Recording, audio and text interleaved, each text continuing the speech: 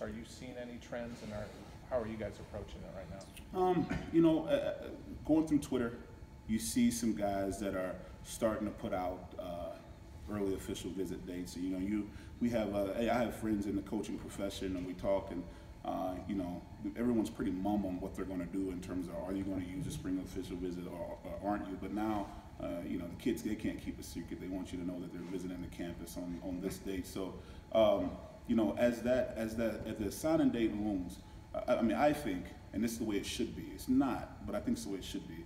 From August to December, every high school kid should be worried about winning the state championship. They shouldn't be worried about where am I going on Saturday in terms of recruiting. They should be trying to be the best high school senior, junior that they can be.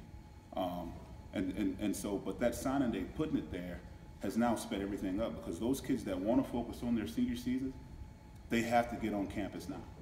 Like they have to get on campus now. Um, you know, the one thing that I think is a benefit for us um, in terms of a selling point, um, because you know, college football, a lot of things can happen. A lot of you know, coaches move around. A lot of things can happen. The landscape doesn't look the same in August as it will look in January of the next year.